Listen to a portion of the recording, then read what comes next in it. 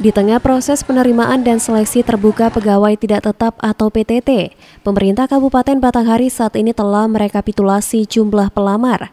Berdasarkan hasil laporan di seluruh organisasi perangkat daerah atau OPD setempat, saat ini tercatat sebanyak 4.132 orang pelamar.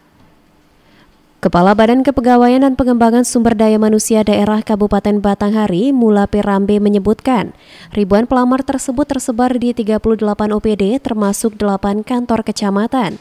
Dari jumlah total pelamar tersebut, pemerintah daerah setempat telah menetapkan jumlah kuota PTT yang akan diterima sebanyak 2.071 orang.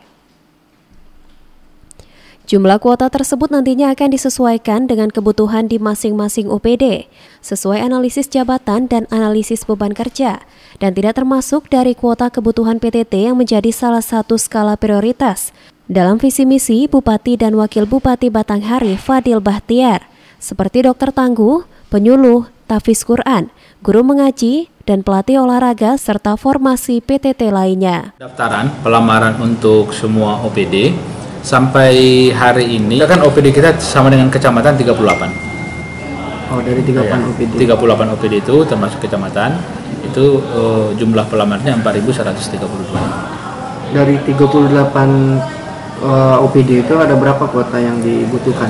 Iya, kita punya kuota untuk PTT 2071. Pirdana Atrio, Jambi TV.